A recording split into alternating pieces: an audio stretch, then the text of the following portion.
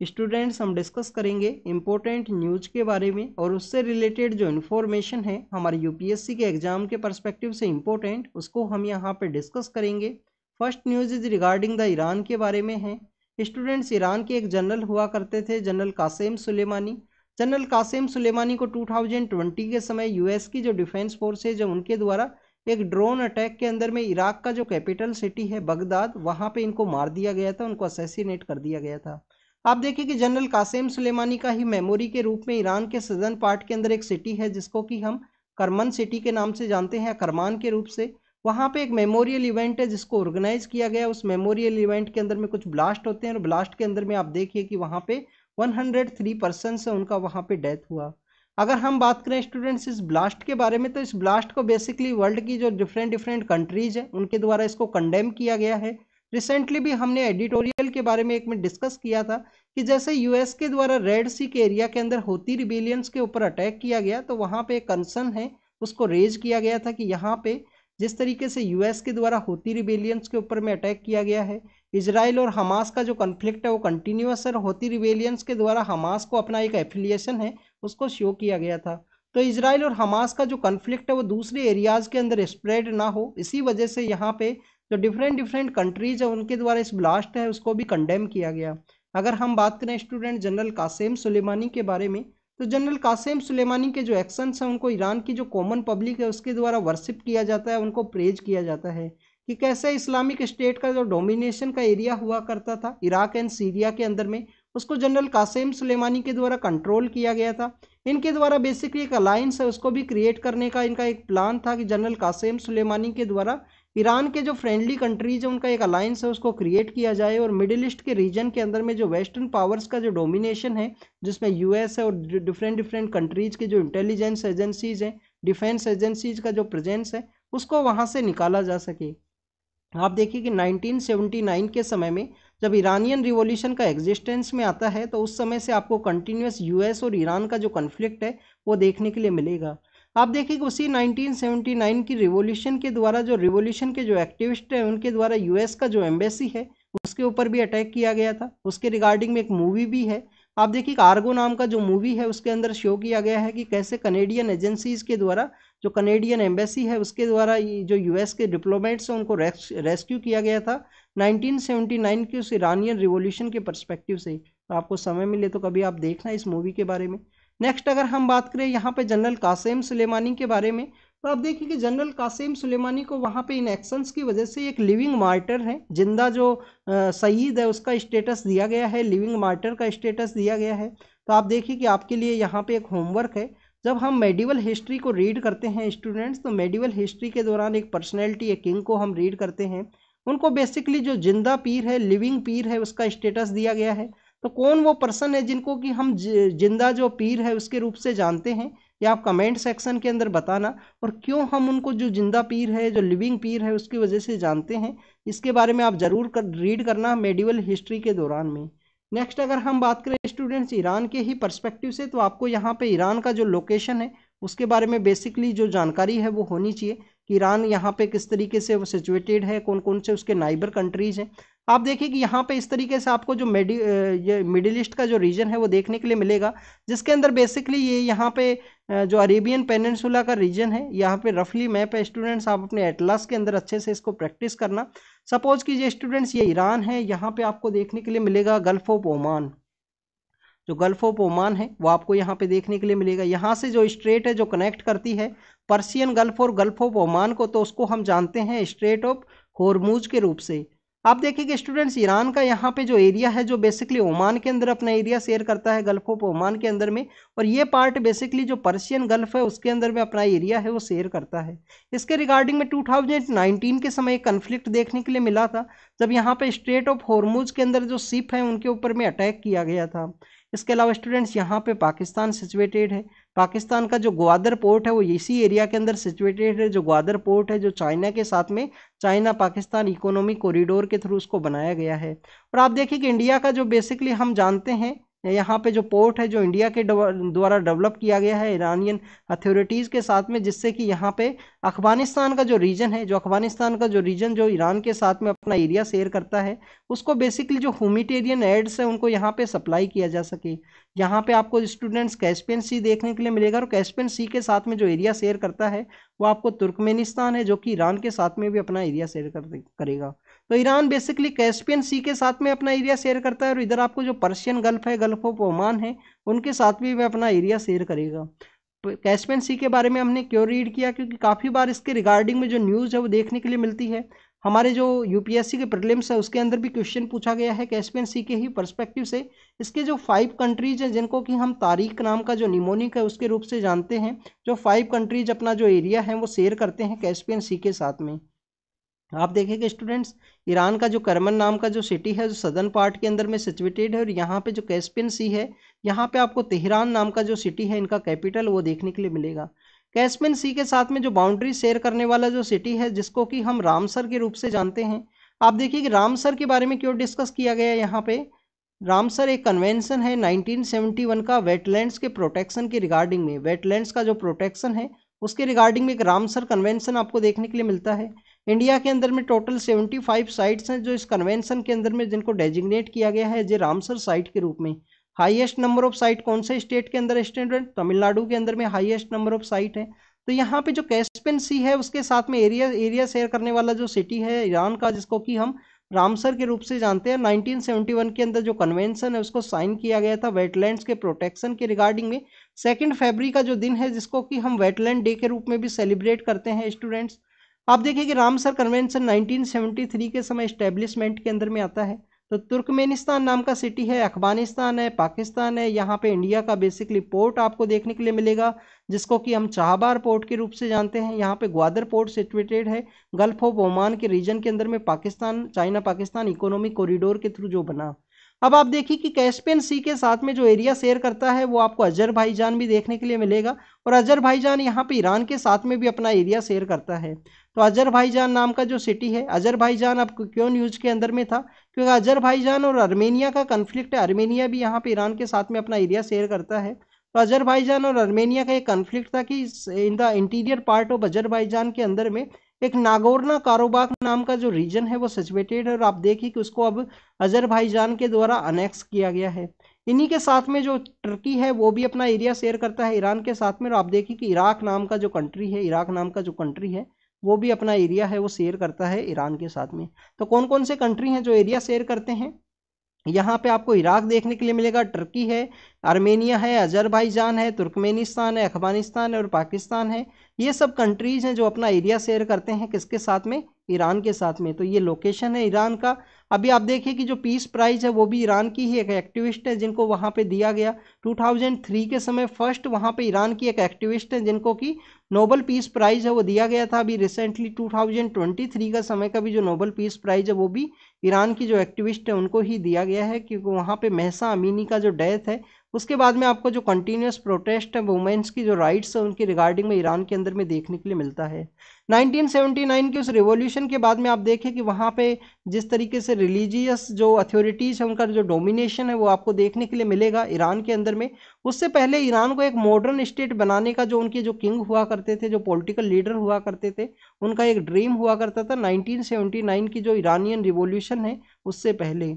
Next अगर हम बात करें, स्टूडेंट्स, यहाँ पे सुप्रीम कोर्ट के बारे में है आप देखिए कि हिडनबर्ग का जो रिपोर्ट है, वो लास्ट ईयर सामने आया था, जिसके अंदर कहा गया था, अडानी ग्रुप के ऊपर एलिगेशंस लगाए गए थे कि उनके द्वारा मार्केट को यहाँ पे मैनिपुलेट किया गया है। तो उसी के रिगार्डिंग में सुप्रीम कोर्ट ने जो सेबी की जो रिपोर्ट है, उसको अपहोल्ड किया गया है कि यहाँ पे आपके द्वारा जो इन्वेस्टिगेशन है, उसको कैरी आउट किया जाए।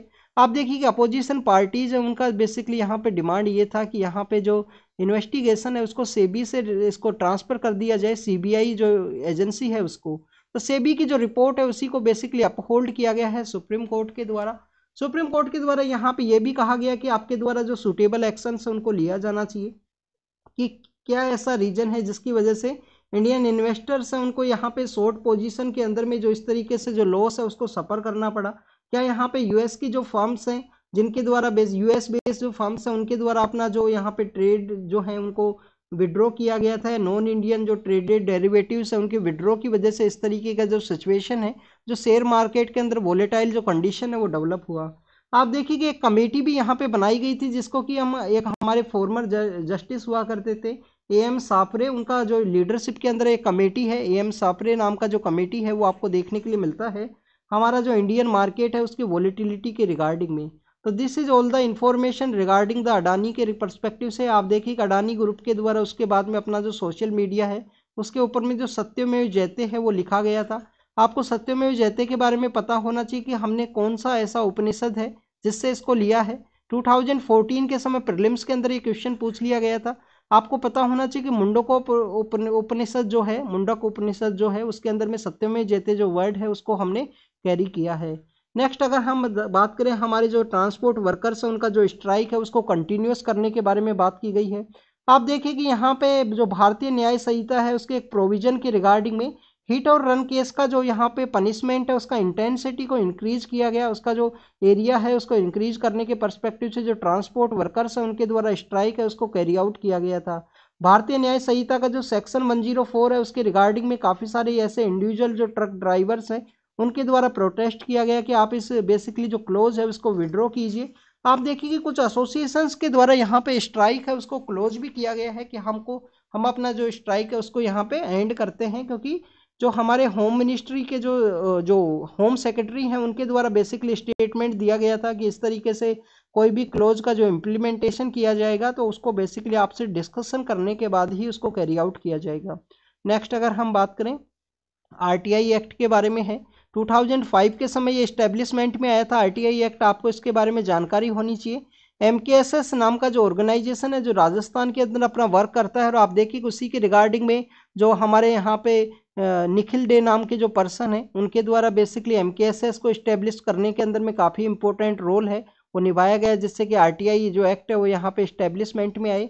उसी के रिगार्डिंग में एक आरटीआई के अंदर जो सेल्फी पॉइंट्स है, उनके रिगार्डिंग में यहाँ पे एक इन्फॉर्मेशन है, जिसको रिवील किया गया था। जिसी के रिगार्डिंग में रेलवे के द्वारा अपने जो आरटीआई के जो कानून है, उसको टाइटन किया गया है।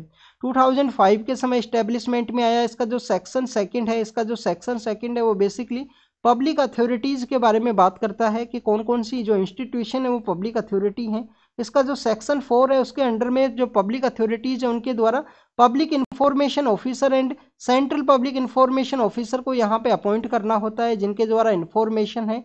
वो थर्टी डेज़ के अंदर में प्रोवाइड करना होगा। अगर कोई इमरजेंसी सिचुएशन है तो उस समय में फोर्टी एट आवर्स के अंदर जो इमरजेंसी सिचुएशन के अंदर इन्फॉर्मेशन है, उनके द्वारा प्रोवाइड की जाती है।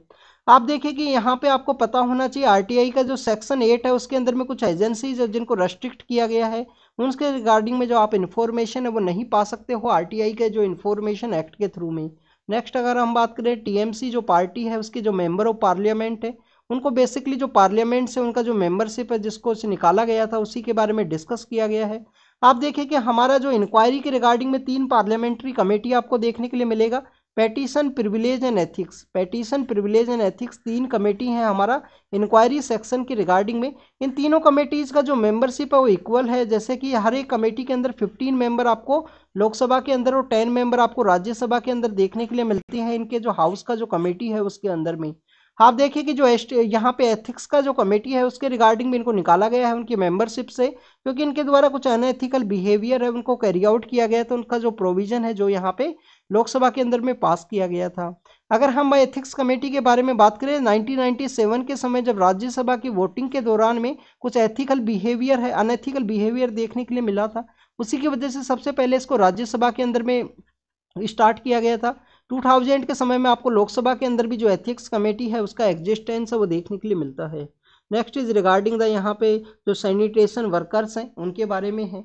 आप देखिए कि हमारी गवर्नमेंट के द्वारा 2003 के समय में यहाँ पे जो मैनुअल स्क्वेंजर्स हैं, उनका रिहेबिलिटेशन एक्ट है, वो इस्टेब्लिशमेंट में आया था कि जो मैनुअल स्क्वेंजर्स हैं, उनका यहाँ पे रिहेबिलिटेशन है, वो किया जा सके, उसके रिगार्डिंग का एक्ट है। आप देखिए कि उसी के रिगार्डिंग में जो कंपनसेशन है, जिसके रिगार्डिंग में गुजरात हाई कोर्ट के द्वारा डिस्कस किया गया है गवर्नमेंट को कहा गया है कि सैनिटेशन वर्कर्स जिनका डेथ हुआ है, उसको आप यहाँ पे जो कंपनसेशन है वो प्रोवाइड कीजिए, उनके जो बेसिकली फैमिली मेंबर्स हैं उनको। आप देखिए इंडिया के अंदर में काफ़ी सारे जो सैनिटेशन के रिगार्डिंग में जो मैनुअल स्क्वेंजर्स हैं, उनका जो डेथ है आपको हर एक दिन देखने के लिए मिलता है। हमारे जो यहाँ पे जो टैंक्स हैं, उनको सफ़ाई के दौरान में इनका जो डेथ आपको देखने के लिए मिलेगा।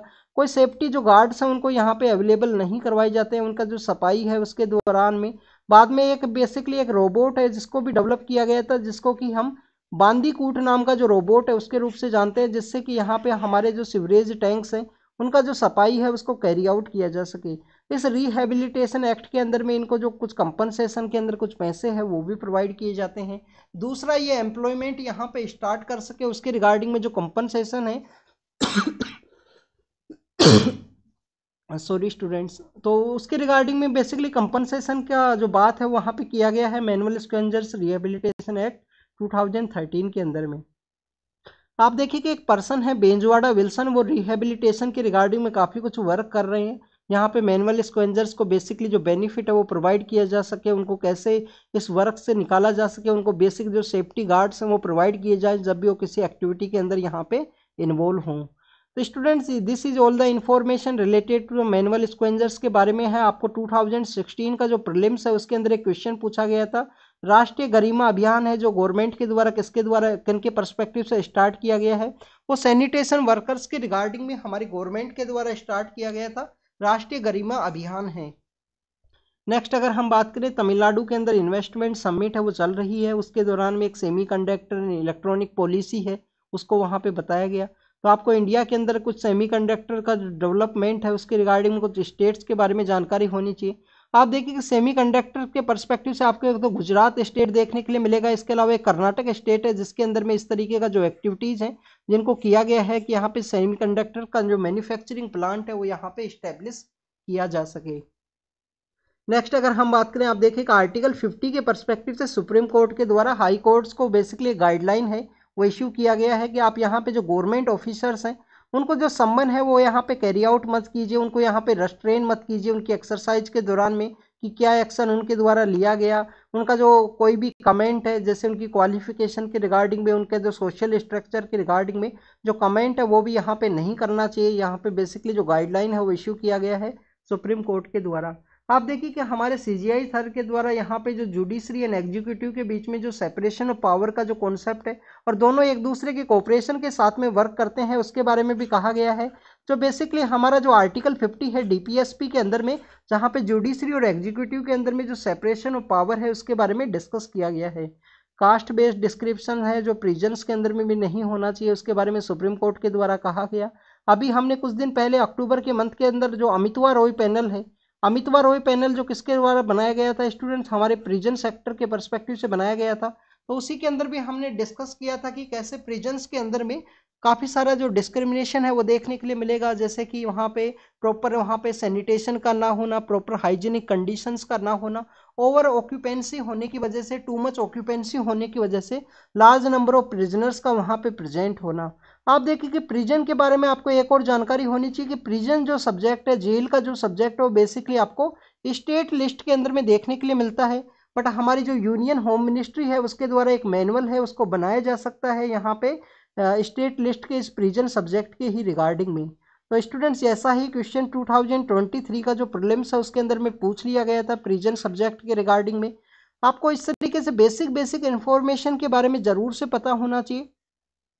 नेक्स्ट अगर हम न्यूज़ के बारे में डिस्कस करें, स्टूडेंट्स अमितवा रॉय पैनल के बारे में आप ज़रूर से याद करना। आप देखिए कि हमारा जो रिपब्लिक डे है, उसका जो रिहर्सल है, वो चल रही हैं। परेड के परस्पेक्टिव से यहाँ पे नेवी के जो ऑफिसर्स हैं नेवी के जो पर्सनस हैं, उनके द्वारा जो रिहर्सल है, वो कैरी आउट की जा रही है। इस साल जो हमारा ट्वेंटी सिक्स जनवरी को हम रिपब्लिक डे सेलिब्रेट करेंगे, उसके जो चीफ गेस्ट है, वो कौन रहेंगे? हमारे जो फ्रेंच के जो प्रेसिडेंट हैं इमानुअल मैक्रन वो यहाँ पे विज़िट के लिए आएँगे, आप देखिए। इसके अलावा स्टूडेंट्स आपको एक और जानकारी होनी चाहिए कि ट्वेंटी सिक्स जनवरी को ही हम रिपब्लिक डे क्यों सेलिब्रेट करते हैं।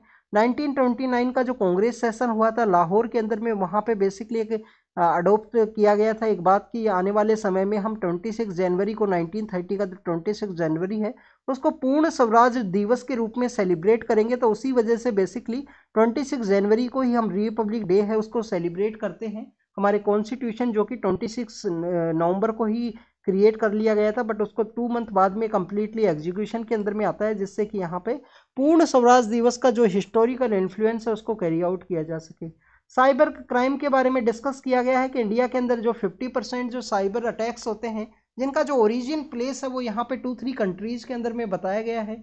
बेसिकली यहाँ पे मिनिस्ट्री ऑफ़ होम अफेयर्स का एक विंग है, जिसको कि Indian cyber crime coordination centre के रूप से हम जानते हैं Indian cyber crime coordination centre I four C है basically Indian cyber crime coordination centre, जो मिनिस्ट्री ऑफ़ होम अफेयर्स के अंडर में है। इसके अलावा हमारे यहाँ पे साइबर क्राइम के रिगार्डिंग में जो एजेंसीज हैं, उनके बारे में आपको पता होना चाहिए। जैसे कि एक तो एनटीआरओ आपको देखने के लिए मिलता है। NTRO है, जो 2008 के बाद में उसको क्रिएट किया गया था।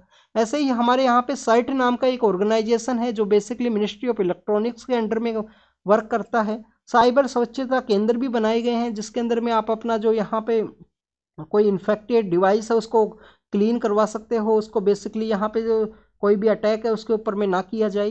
तो ये यहाँ पे साइबर क्राइम के बारे में डिस्कस किया है। उन्होंने अपनी रिपोर्ट के अंदर कहा गया कि जी ट्वेंटी का जब मीटिंग इंडिया के अंदर ऑर्गेनाइज हुआ था तो जी ट्वेंटी के उस वेबसाइट के ऊपर में जो सिक्सटीन लैक अटैक हैं, वो किए गए थे हर एक मिनट के अंदर में।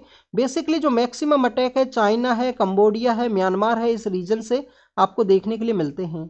इसके अलावा स्टूडेंट्स आपको साइबर क्राइम के रिगार्डिंग में कन्वेंशन है, जिसके बारे में जानकारी होनी चाहिए, जिसको कि हम बुडापेस्ट कन्वेंशन के रूप से जानते हैं। इंडिया के द्वारा उस बुडापेस्ट कन्वेंशन को साइन नहीं किया गया था रेटिफाई नहीं किया गया था, उसके बिहाइंड के रीजन ये थे। कि इंडिया को लगा कि हमारा जो सोर्निटी है उसका वायलेशन होगा, क्योंकि जिन कंट्रीज़ के द्वारा उस बुडापेस्ट कन्वेंशन को साइन किया गया था, उसका मेन मोटिव यही था कि एक दूसरे के साथ में जो उसके जो इन्फॉर्मेशन है वो शेयर की जाएगी। तो इंडिया को लगा कि हमारा जो सोर्निटी है उसका वायलेशन हो सकता है, इसके द्वारा, इंडिया के द्वारा उसको साइन और रेटिफाई नहीं किया गया था। बुडापेस्ट कन्वेंशन जो किसके रिगार्डिंग में है, जो कि बेसिकली यहाँ पे साइबर क्राइम के परस्पेक्टिव से है। आप देखिए कि हमने काफ़ी बार मार्शल आर्ट्स के बारे में डिस्कस किया है, उसी का फ़ोटो यहाँ पे शो किया गया है, जिसको कि हम सीला बटम के नाम से जानते हैं और वेदु विरुदु वेजा नाम का एक फेस्टिवल है, जिसके दौरान में बेसिकली इसको यहाँ पे शो किया गया चेन्नई की एक कॉलेज के अंदर में। तो आप देखिए कि मार्शल डांस है बेसिकली सीला जो यहाँ पे सीलम बाम नाम का एक मार्शल आर्ट है, जो तमिलनाडु के अंदर में प्रैक्टिस किया जाता है, उसी के परस्पेक्टिव से। आपको कुछ मार्शल आर्ट्स के बारे में भी पता होना चाहिए जैसे कि हम बात करते हैं गटका नाम की एक मार्शल आर्ट है। गटका नाम का जो मार्शल आर्ट है वो कहाँ पे प्रैक्टिस किया जाता है? पंजाब के अंदर में। पंजाब के अंदर इसको प्रैक्टिस किया जाता है। आपको कलारी पैयत्तू नाम का, कालारी कालारी पैयत्तू नाम का जो एक बेसिकली मार्शल आर्ट है, उसके बारे में भी जानकारी होनी चाहिए। केरला के अंदर में आपको ये देखने के लिए मिलता है। इसके अलावा सीलम भाम है। सीलम भाम का ही आप देखिए सीला बटम नाम का जो डांस है, जो मार्शल डांस के रूप में आपको देखने के लिए मिलेगा। सीलम भाम है जो तमिलनाडु के अंदर प्रैक्टिस किया जाता है। आपको और भी काफ़ी सारे मार्शल आर्ट देखने के लिए मिलेंगे, जैसे कि परी खांडा है सरित सरक है, ठेंगता है। ये सब मार्शल आर्ट्स हैं जो अलग अलग पार्ट्स के अंदर में इंडिया के अंदर प्रैक्टिस किए जाते हैं। अगर आपको इनके बारे में जानकारी नहीं है तो अपना आर्ट एंड कल्चर का जो बुक है उसको ओपन कीजिए, जो मैक्सिमम बुक यहाँ पे यूपीएससी के जो एस्पिरेंट्स रीड करते हैं, नितिन सिंगानिया उसको ओपन कीजिए। उसको रीड कीजिए प्रॉपरली वहाँ पे मार्शल आर्ट के चैप्टर के अंदर में, उसका जो लिस्ट है उसको क्रिएट कीजिए। आप देखिए कि पीएम सर के द्वारा एक रैली के अंदर कहा गया कि वुमेन की राइट्स के रिगार्डिंग में वो यहाँ पे इंश्योर करेंगे और उसके रिगार्डिंग में उनके द्वारा कैरी आउट किया जाएगा। आपके लिए यहाँ पे होमवर्क है। वुमेन्स के रिगार्डिंग में या जेंडर इक्वलिटी के रिगार्डिंग में कौन सा हमारा जो एच है जो बताता है तो एच का जो गोल नंबर है उसके बारे में आप कमेंट सेक्शन के अंदर बताना। जो वुमेन इक्वलिटी और यहाँ पे जो जेंडर इक्वलिटी है, उसके परस्पेक्टिव से इम्पोर्टेंट है। इसी मीटिंग के दौरान में उनके द्वारा बेसिकली एक प्रोजेक्ट है, उसको भी लॉन्च किया गया जिसके अंदर यहाँ पे कोची से जो लक्षद्वीप की रिगार्डिंग में ऑप्टिकल फाइबर केबल है, उस प्रोजेक्ट को यहाँ पे लॉन्च किया जाए, उसी के परस्पेक्टिव से। और आप देखिए कि जी सेट ट्वेंटी है, जो यहाँ पे इसरो का हमारा यहाँ पे कॉमर्शियल आर्म है, जिसको कि हम न्यू स्पेस इंडिया लिमिटेड के नाम से जानते हैं। जो फ्लैकोन नाइन नाम का जो स्पेस एक्स का जो यहाँ पे एक रॉकेट है जिसके थ्रू इसको लॉन्च किया जाएगा 2020 के समय में ही। जैसे कि ऑप्टिकल फाइबर नेटवर्क सिस्टम के रिगार्डिंग में जो केबल का जो प्रोजेक्ट है जो लॉन्च किया गया है वहाँ पे कोची से लक्षद्वीप के रिगार्डिंग में। आप देखिए कि वैसे ही यहाँ पे जो फ्लैकोन नाइन है इसके द्वारा जो के बैंड होता है के बैंड जो, जो होता है हमारे स्पेक्ट्रम के अंदर में उसी के रिगार्डिंग में इसको लॉन्च किया जाएगा। जैसे कि यहाँ पे अंडमान निकोबार लक्षद्वीप के अंदर जो ब्रॉडबैंड का जो कनेक्टिविटी है इंटरनेट का जो कनेक्टिविटी है उसको यहाँ पे बूस्ट किया जा सके। नेक्स्ट अगर हम बात करें फ्लैकोन नाइन के बारे में, एक रीयूजेबल टू स्टेज रॉकेट है जो आपको देखने के लिए मिलेगा, जो कि यहाँ पे रीयूजेबल टू स्टेज रॉकेट है, जो कि बेसिकली यहाँ पे स्पेस एक्स के द्वारा लॉन्च किया गया था। आप देखिए कि आर्कोलॉजिकल सर्वे ऑफ़ इंडिया के द्वारा कहा गया है ज्ञानव्यापी के सर्वे के द्वारा।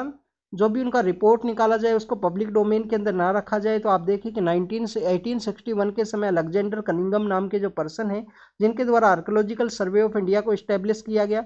मोर्टिमर व्हीलर नाम के जो पर्सन है, या कौन से ऐसे पर्सन है, जिनके द्वारा 1902 के समय इसको रिकॉन्स्टिट्यूट किया था, उसके बारे में आप कमेंट सेक्शन के अंदर बताना आर्कोलॉजिकल सर्वे ऑफ़ इंडिया के बारे में। इंडियन नेवी ने अपने गल्फ ऑफ़ आर्डेन के अंदर में अपना जो सर्विलेंस है उसको इंक्रीज किया है। वहाँ पे जिस तरीके से जो अटैक्स है उनको कैरी आउट किया गया, उसी के रिगार्डिंग में। यहाँ पे देखिए कि नामीबिया से जो चीता लाए गए थे, उनके द्वारा बेसिकली जो नए बच्चे हैं, उनका जन्म हुआ है। तो आप अफ्रीकन जो चीता है, उसके कमेंट सेक्शन के अंदर बताना, उसका बेसिकली जो आई स्टेटस है, उसके बारे में। तो आपको अफ्रीकन जो चीता है, उसका आयुसियन स्टेटस उसके बारे में बताना है, जो इंडिया से लाए गए थे, वहाँ पे अफ्रीका से, नामीबिया का नौ कंट्री है वहाँ से। इसके अलावा स्टूडेंट्स अगर हम एशियन चीता के बारे में डिस्कस करें तो एशियन चीता का जो प्रेजेंट प्रेजेंस है, वो ओनली ईरान के अंदर आपको देखने के लिए मिलता है और उनका जो आयुसियन स्टेटस है, वो क्रिटिकल एंडेंजर्ड है।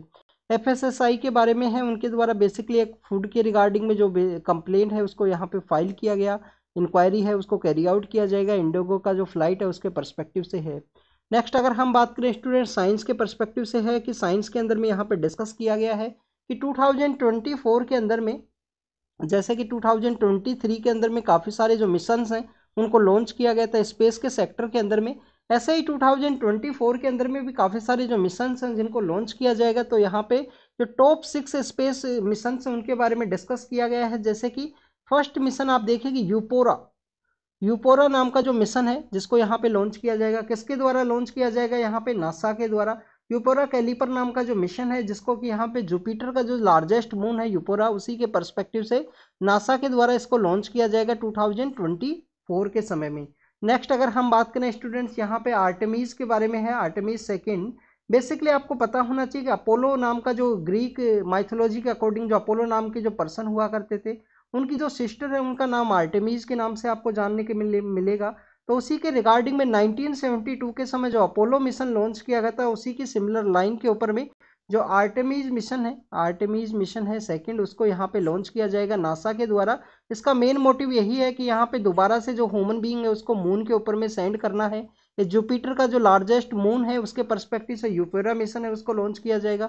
थर्ड आप देखें कि हमारे यहाँ पे आपको वाइपर मिशन है, वो देखने के लिए मिलेगा। वाइपर मिशन क्या है? तो वोलेटाइल जो इन्वेस्टिगेशन है पोलार एक्सप्लोरेशन रोवर्स के रिगार्डिंग में, उसको यहाँ पे कैरी आउट किया जाएगा, जिससे कि बेसिकली मून के रिगार्डिंग में जो वाटर है, उसका अवेलेबिलिटी को यहाँ पे डिस्कस किया जा सके, उसको एनालाइज किया जा सके नासा के द्वारा।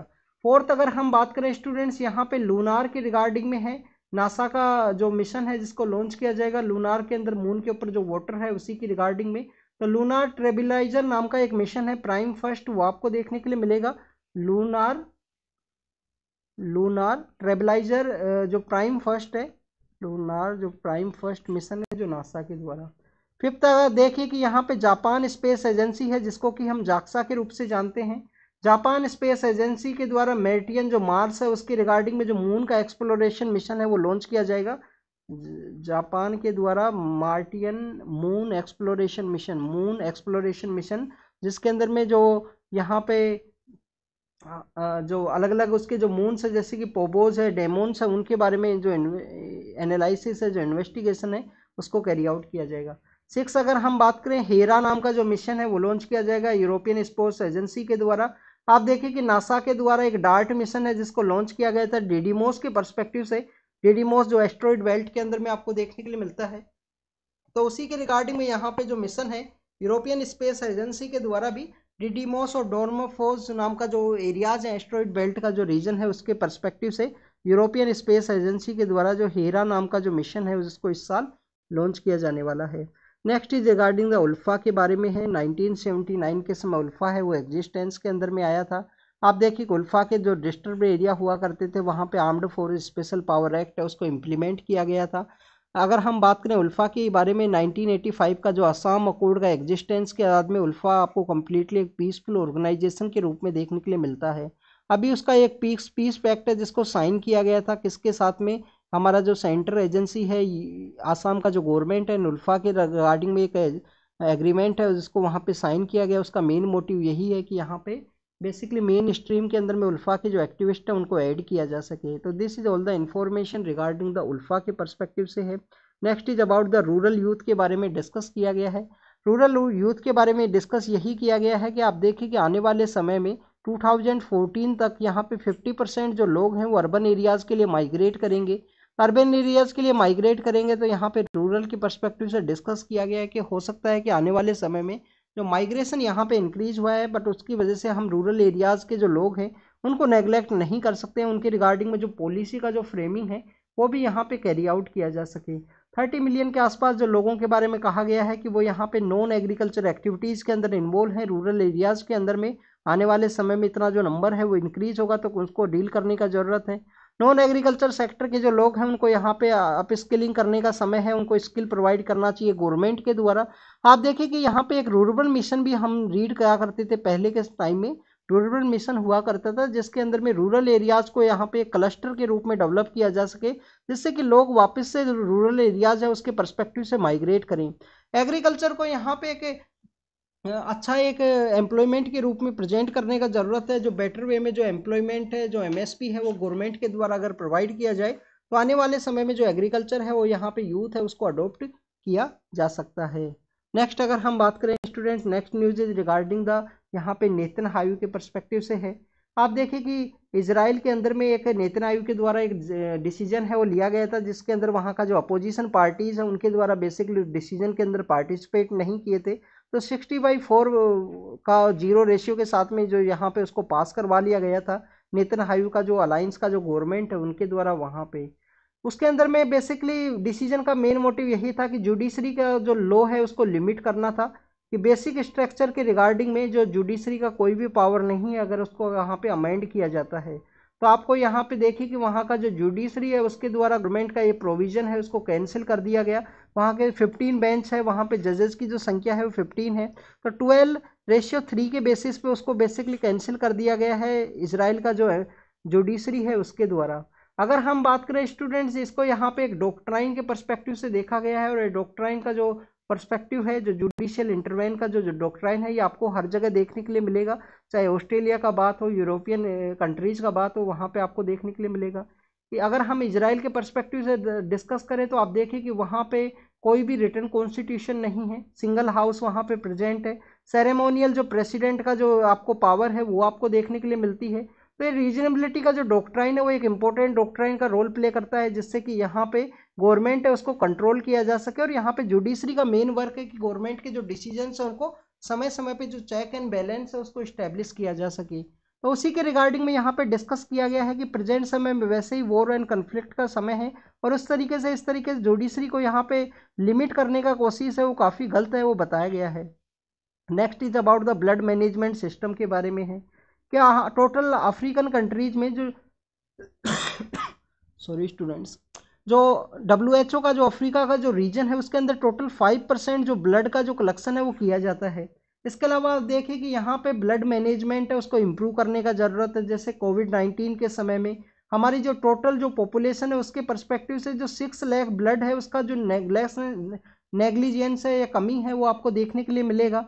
टोटल अगर हम इंडिया के ही परस्पेक्टिव से बात करें तो यहाँ पे 1.27 जो करोड़ ब्लड का जो यूनिट है वो कलेक्ट की जाती हैं, बट ये भी यहाँ पे जो सिक्स लैख यूनिट है, उनसे जो कम है वहाँ पे देखने के लिए मिलेगा। सिक्स लैख यूनिट का जो स्टोरेज है उसको और भी ज़्यादा करने का ज़रूरत है। इंडिया ने अपना जो ब्लड मैनेजमेंट सिस्टम है उसको काफ़ी अच्छे से मैनेज किया है, बट स्टिल आपको जो शॉर्टेज है, आप देखिए कि सिक्स लैख यूनिट का जो शॉर्टेज है वो आपको देखने के लिए मिलता है। तो क्या करना चाहिए इस ब्लड मैनेजमेंट सिस्टम के रिगार्डिंग में? क्यों ये ज़रूरी है? जैसे कि कोविड नाइन्टीन के समय, कोई एक्सीडेंट के समय में हार्ट का जो सर्जरीज इस तरीके से इंक्रीज हुए हैं, उनके जो एक्सीडेंट सामने आए हैं तो उसके रिगार्डिंग में जो ब्लड ब्लड मैनेजमेंट सिस्टम है, वो अच्छे से होना चाहिए। पीपीपी मॉडल के रूप में हब एंड स्पोक मॉडल के रूप में यहाँ पे जो ब्लड मैनेजमेंट है, उसको स्टार्ट करने का ज़रूरत है। आप देखिए कि स्मॉलर जो ब्लड सैंपल्स हैं स्मॉलर यूनिट्स को यहाँ पे डेवलप किया जाएगा, जिससे कि यहाँ पे छोटे छोटे एरियाज़ के अंदर में जो ब्लड है उसको यहाँ पे पहुँचाया जा सके, किसी भी जो हेल्थ का जो सर्जरी है, किसी भी समय में जब उसका डिमांड हो उस उस समय में के दौरान में। इसके अलावा गवर्नमेंट को यहाँ पे जो मिस फॉर्च्यून है मिस इन्फॉर्मेशन है, उसको भी बेसिकली लोगों तक बताने का ज़रूरत है कि कोई भी यहाँ पे जो ब्लड के दौरान में अगर आप ब्लड डोनेट करते हो तो कोई भी आपको यहाँ पे जो कमज़ोरी है, जो कमी है, वो नहीं देखने के लिए मिलेगा। इसके अलावा स्टूडेंट इस तरीके का मिस इन्फॉर्मेशन देखा जाता है कि ब्लड का जो यहाँ पे जो डेवलपमेंट है वो काफ़ी लेट होगा, उस पर्सन के लिए वन एंड टू मंथ है, वो काफ़ी डिफ़िकल्ट होंगे। तो इस तरीके का कोई भी सिचुएशन है, वो आपको ब्लड का जो डोनेशन है, उसके अंदर में नहीं देखने के लिए मिलता है। तो ये बेसिकली इस इंफॉर्मेशन के बारे में डिस्कस किया कि इसको डेवलप करने का ज़रूरत है पब्लिक प्राइवेट पार्टनरशिप के रूप में। Hub hub and spoke model को डेवलप करने का ज़रूरत है, जिसमें कि स्मॉलर एरियाज़ के अंदर जो ब्लड है, वो पहुँचाया जा सके। आपको यहाँ पे बेसिकली ब्लड डोनेशन आपको भी करना चाहिए स्टूडेंट्स। अगर आपने ब्लड डोनेट किया है तो आप वन ईयर के अंदर में आप ज़रूर से कीजिए। मिनिमम तो आप वन ईयर के अंदर कीजिए। और अगर आप ज़्यादा से ज़्यादा कर सकते हो तो हर एक दो तीन महीने के अंदर एक बार ज़रूर से ब्लड डोनेट कीजिए। काफ़ी अच्छी चीज़ है। डोनेट करना चाहिए। किसी को भी इमरजेंसी सिचुएशन के अंदर में अगर वो ज़रूरत हो तो आपका बेसिकली आपको सही लगेगा। आपको खुद को भी सही लगेगा। किसी के लिए वो काम आई वहाँ पे। नेक्स्ट अगर हम बात करें एक्स्ट्रा कॉन्स्टिट्यूशनल पावर के बारे में है तो आईटी एक्ट के बारे में डिस्कस किया गया है। आप देखिए कि 2017 के समय में नाइन जज बेंच के द्वारा जो के एस पुट्टा स्वामी केस के अंदर राइट टू प्राइवेसी है, वो दिया गया था। अब यहाँ पे इनकम टैक्स एक्ट के बारे में डिस्कस किया गया है कि 1961 का जो इनकम टैक्स एक्ट है, उसके द्वारा हमारी जो एजेंसीज हैं, उनके द्वारा किसी भी एक हाउस के अंदर में जो इन्वेस्टिगेशन है सर्च एंड सीज का जो ऑपरेशन है, उसको कैरी आउट किया जा सकता है। तो आप देखिए कि हमारी राइट टू प्राइवेसी होते हुए किस तरीके से इन एक्टिविटीज़ को कैरी आउट किया जाता है। क्या हमारे इनकम टैक्स एक्ट के अंदर में ऑलरेडी ये प्रोविज़न हुआ करता था? तो ऑलरेडी आप देखिए कि 1922 का जो प्रोविज़न है इनकम टैक्स एक्ट का उसके अंदर में ऐसा कोई भी प्रोविज़न नहीं था सर्च एंड सीज के परस्पेक्टिव से।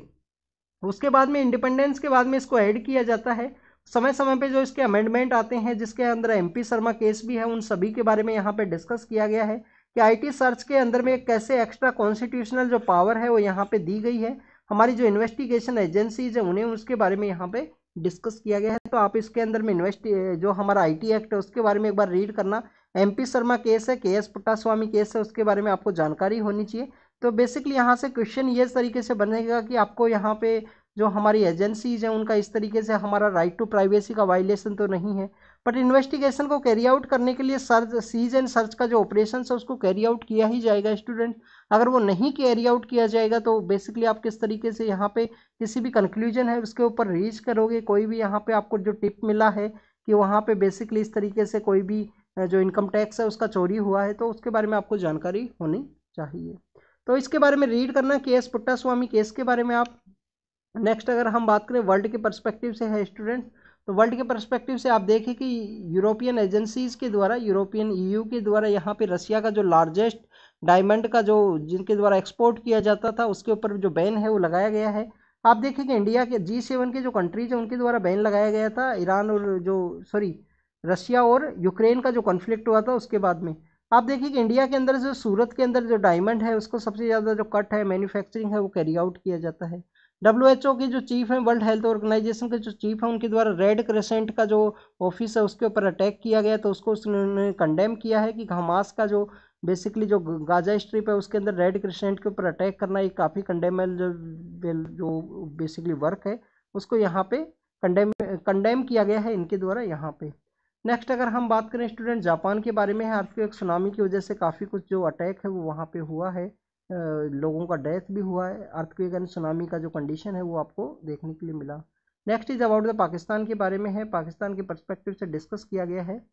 इसराइल के परस्पेक्टिव से आप देखिए अटैक किया गया। हमास के जो टॉप लीडर्स हैं, उनका डेथ हुआ है। लेबनान के अंदर में जो बैरूत के अंदर जो अटैक हुआ, उसके अंदर में इसराइल के जो मिनिस्टर हैं, उनके द्वारा यहाँ पे गाजा सेटरल्स को वापस से रिटर्न करने के बारे में डिस्कस किया गया है। हार्वर्ड के जो प्रेसिडेंट है, उसका भी इसराइल और हमास के कन्फ्लिक्ट की वजह से उनको यहाँ पे रिजाइन है, वो करना पड़ा। This is regarding the South Korea के बारे में है। उनके द्वारा किस तरीके से हमारा जो नेवल है, उसको यहाँ पे बेसिकली वेस्टर्न कोस्ट के अंदर में जो एक्सरसाइज है, उनके द्वारा कैरी आउट की गई है। ट्रंप के द्वारा आप देखिए कि डिपोर्टेशन के बारे में है। ट्रंप के द्वारा डिपोर्टेशन के बारे में इंफॉर्मेशन ये है कि उनके द्वारा डिपोर्टेशन ऑपरेशन को चलाने के बारे में बात की गई है। डोमेस्टिक जो लोग हैं, उनको प्रोटेक्ट करने के बाद में आप देखिएगा, अभी हमने निकारगुआ के बारे में डिस्कस किया था। 2019 के समय भी एक इंडियन गर्ल है, जिसका एरिजोना जो डेजर्ट का एरिया है, उसके अंदर उसका पाए जाने के बाद में ट्रंप के द्वारा जिस तरीके से ऑपरेशन को चलाया गया था कि वहाँ पर एक वोल है, उसको क्रिएट किया जाए, जिससे कि यहाँ पर जो इलीगल माइग्रेंट्स हैं, उनको रोका जा सके। इसके अलावा आप देखिए कि टोक्यो के अंदर जो प्लेन क्रैश हुआ, उसको यहाँ पे इन्वेस्टिगेट किया जाएगा। नाइजर के बारे में है, इसके बारे में आप रीड करना, इसके लोकेशन के परस्पेक्टिव से। आप देखिए शेख हसीना मैम जो है, वो फिफ्थ टर्म के लिए यहाँ पे जो पीएम है, वो इलेक्ट हो सकती हैं। और उसके बिहाइंड के बारे में ये है स्टोरी कि वहाँ पे जो अपोजिशन पार्टी है, उनके द्वारा इसको बेसिकली इलेक्शंस को बाइकआउट किया गया है। उनके द्वारा पार्टिसिपेट नहीं किया गया इसके अलावा आप देखिए कि वहाँ पे मोहम्मद यूनिस नाम की जो पर्सन है जो micro small and medium enterprise या हम बात करें कि जो माइक्रो फाइनेंस है, उसके परस्पेक्टिव से उनका वर्क काफ़ी ज़्यादा इंपॉर्टेंट है। उनको भी बेसिकली जो केस है, उसके अंदर फ़ाइल किए गए हैं, उनके अगेंस्ट में, जिनको 2006 के समय नोबल प्राइज भी दिया गया था। बांग्लादेश ग्रामीण बैंक उनके परस्पेक्टिव से तो this is all the information related to today's newspaper आज थोड़ा लेट हो गया स्टूडेंट्स न्यूज़पेपर कल से कोशिश करेंगे, आपके लिए जल्दी अपलोड किया जाए थोड़ा। तो thank you students thank you